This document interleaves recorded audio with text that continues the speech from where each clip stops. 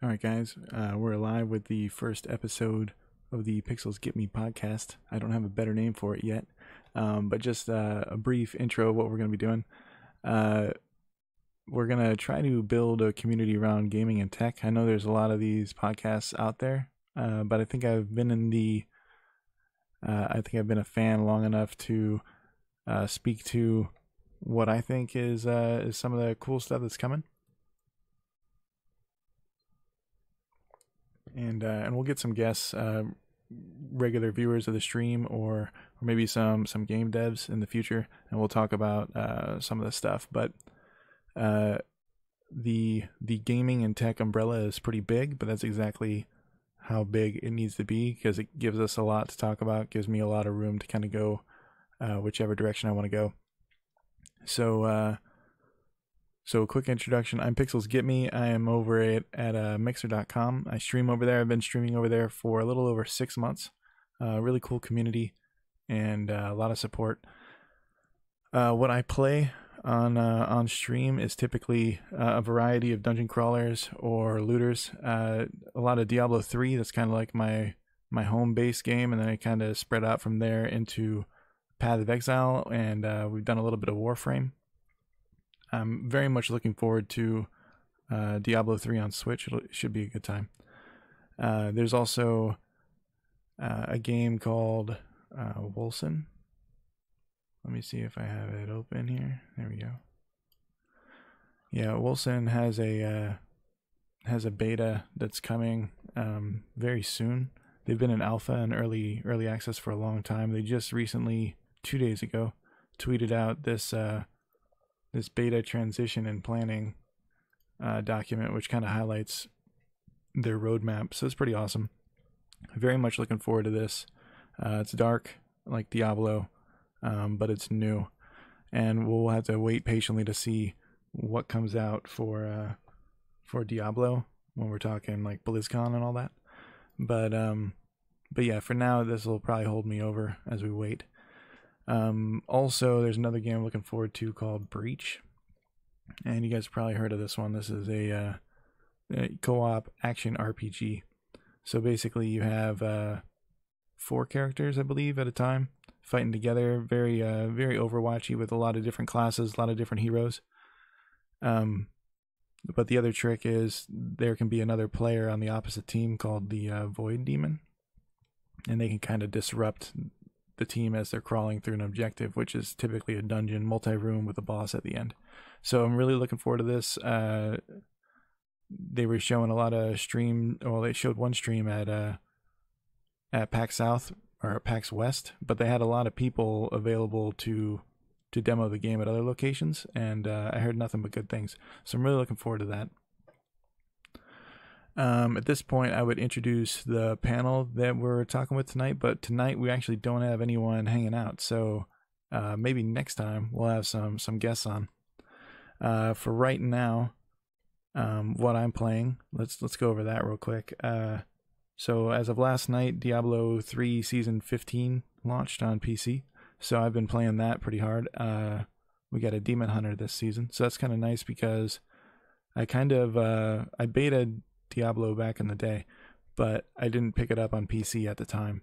Uh, a lot of a lot of life stuff going on. I really wasn't PC gaming at that moment. Uh, but then with the PS3 and the Ultimate Evil edition coming out, I jumped on that, and then they stopped patching it, so I bought a PS4 and the Ultimate Evil edition again, uh, which was a really really fun time. Uh, Loot 2.0 was awesome. It still is awesome, and uh, and yeah. So after that, I kind of found out that consoles weren't getting seasons and I had a pretty decent computer, so I'm like, well, I'll just buy it on computer. So I've been playing on a PC ever since since about season four, um, and then later PlayStation got seasons, and I haven't really haven't really messed around with it too much since it's had seasons. But like I said earlier, Diablo three for Switch is looking really good. Also, uh, recently today we or yesterday, it's kind of late. So yesterday uh, we got the Switch uh, Nintendo Online Club thing. So I bought the family account for me and the kiddos. Um, it's pretty cool playing the NES classics for a minute. So I played some Super Mario 3, which was fun. Uh, tennis, which I do not remember being that hard. and also uh, was it Ghouls and Goblins? Like that was also equally difficult. I was kind of shocked. I know the game was was awfully difficult as a child, um, but I thought for sure I stood a chance um, nowadays, but not the case. Um, so that was pretty rough. I like that you can do save states, kind of like on uh, on ROMs, you know, when you play the old ROMs. But um, at the same time, I'd like to see if I can beat one of those games. I was also Excite Biking. Excite Bike's also a good time.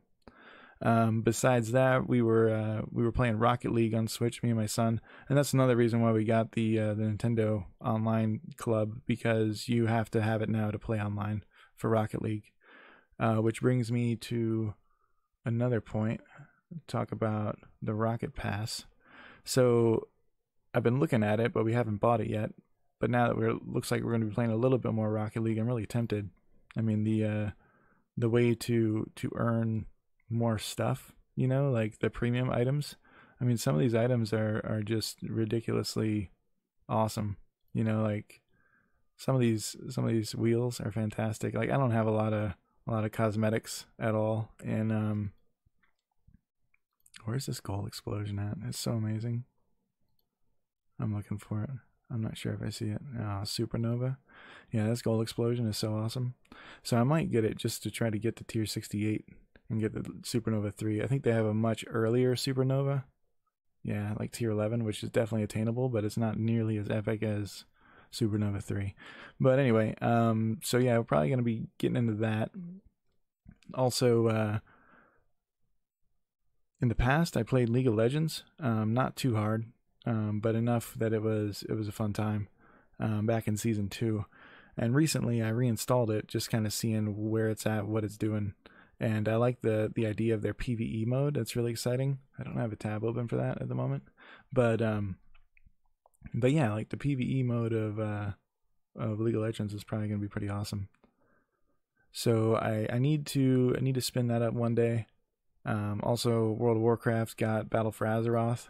I uh, got that patch, so um, it's tempting. You know, I, I just I don't I don't have too much time to game. I game about I don't know 20 maybe a little bit more than 20 hours a week, um, just with the stream and everything. So uh,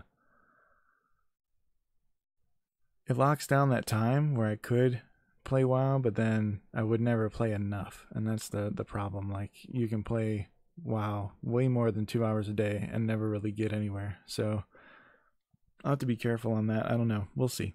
But it does look like a pretty amazing expansion.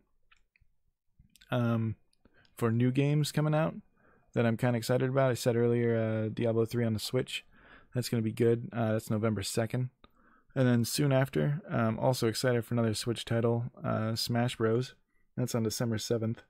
I'd really like to, uh, I really like to get Smash on the channel and see how see how well it does. Um, maybe get some groups going. Maybe start a tournament or two uh, with like giveaways at the end. I don't know. It'd just be a cool competitive uh, thing. I could shoutcast some of the matches. I don't know. You know, it, it's it's got a lot of potential. I'm not a huge uh, Smash Bros. fanatic or anything, but I do enjoy the game a lot. Uh, fave character is definitely Mario, so don't judge me if uh, if that's a bad pick. But uh, you know, he's pretty classic. You know, he can tear it up. So, um, and then there was another game that uh, uh, new game hype. Let's see, we got Ring of Elysium. I don't know if you guys have seen this yet, but it just came out a couple days ago. Um, so basically, it's battle royale um, with uh, with snowboards. So I'm all about you know SSX battle royale. I don't know if you guys played SSX growing up, but uh, Tricky is probably one of my favorite snowboarding games ever. And uh, and I was watching FoeDaddy play this a couple days ago, and uh, he was completely destroying. But he's he's pretty good at battle royale in general. I am definitely not. But the idea of being able to snowboard down a hill and then take cover and shoot someone's head off is is pretty appealing. So I'm definitely gonna. I have it installed today. I just haven't uh, I haven't tried it yet. But it looks really amazing. So good idea. You know, thinking outside the box there. Um, a couple things on tech. Um, I want to talk about so that was the games half. This is the tech half, in case anyone wanted to separate it. Uh, one of the things that's recently came in my email was this. This is the uh, the Woojer rig. I have the Woojer strap for work. Um, that's this thing right here. But the uh, the rig is what I've been waiting for the whole time. Like this is the vest where the strap has two different points on your body that you can you can be uh, you know hit with bass sounds or or game sounds or music or whatever. This has eight different positions that. wow. I'm going to have to edit that part. that was so loud. Um, but yeah, so it's funny how the video just starts with a scream. But basically, people are trying on the vest, and it has eight different pieces that are uh, that are able to to affect you sound wise and it's just huge. It's just like a battle pack, you know.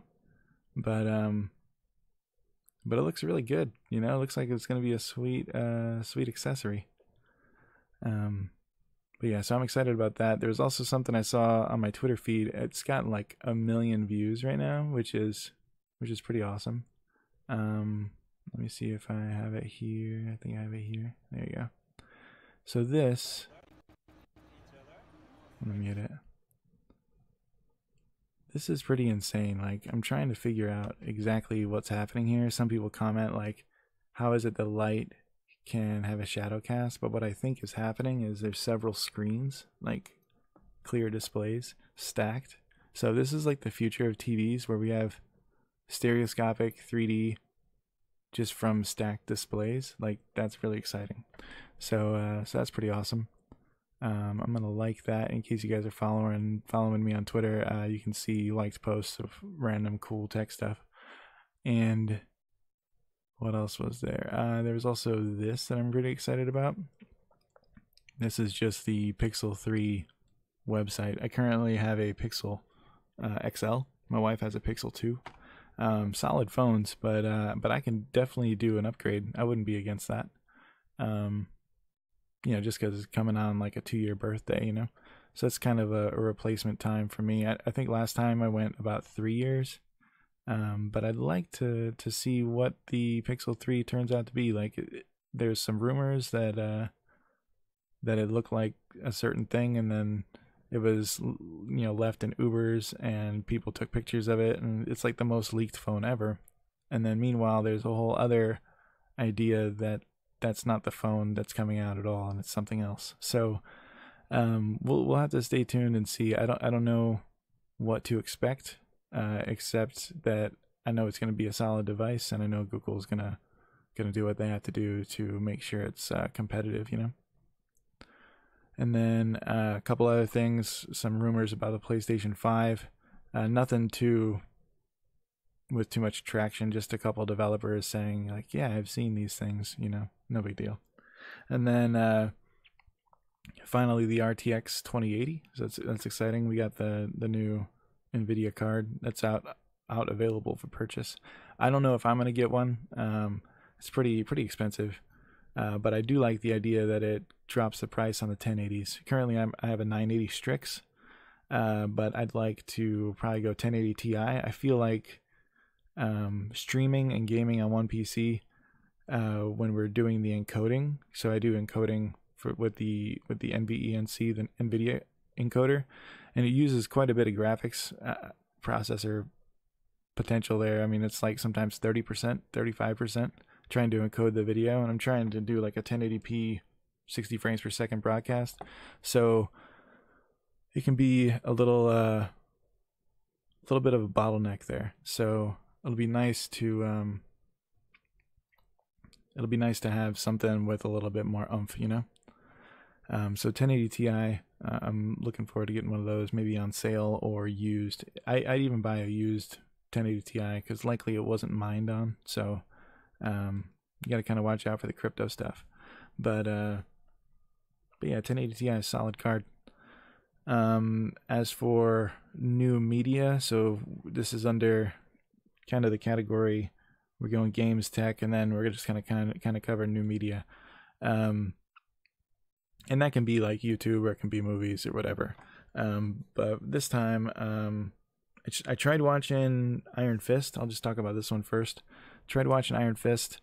Was a little um I don't know, kind of not into it too much. I think they're they're going a different way. Maybe the villain's just not enough. I don't know. He just doesn't seem like he's he's crazy like the hand was or anything.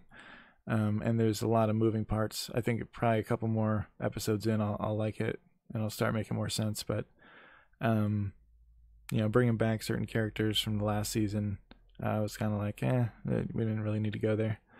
Um, there's another exciting thing on uh, new media, which is the Captain Marvel uh, trailer, which was pretty pretty amazing.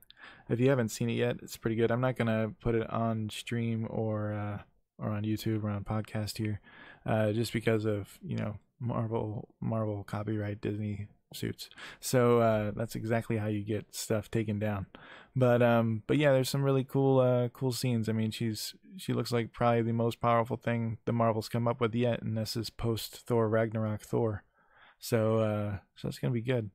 Um, another one I'm excited about is uh, Wreck It Ralph. The new Wreck It Ralph looks really good. Um, I enjoyed the first one a lot, just kind of watching what's walking around and like the uh, the Grand Central Station that they have there, the power strip. Um, but now they're going to the internet, so it's like everything's possible. And uh, just seeing some of the character flybys, is very it's very Ready Player One to me, where you get to watch the movie and just get nothing but just like, oh my gosh, there was that guy, there was this guy, it's Chucky you know, just craziness. Um, so yeah, that's really cool. Looking forward to that one. Um, and then we're kind of moving fast, but that's no big deal. We'll see. We'll see how this goes, and then we'll kind of add content or add sections as needed. Um, it's a, it's a work in progress. Uh, so finally, I guess uh, streamer shout out. Uh, I think I will do one streamer to shout out at the moment. And this time we'll do, um, I know I want to do for episode two, but for episode one, um, I'd like to shout out Archonaut. Uh, so far, he's kind of like the the best streamer that, in my opinion, on Mixer. Um, I really like the the quality of his streams. It definitely challenges others, including myself, to uh, to kind of step it up a notch. Like I have an interactive arcade, so I kind of you know have people playing the stream too um, which i think is how he kind of got started having like an interactive thing that people got to kind of add to the game. Um, but yeah I, I, like the i like the uh, the art community and uh, just archonaut in general. Um, he's hosted me a couple times we're just monster hosts with hundreds of people and uh, you know a lot of you know a lot of uh, my followers over on Mixer have come from that. So I just wanted to uh, to give a shout out. If you know, some point in the future, um, you know, this podcast is just like blown up, and he's mentioned in episode one, and people go find him um, on Mixer. It's uh, it, it, that'd be cool, you know.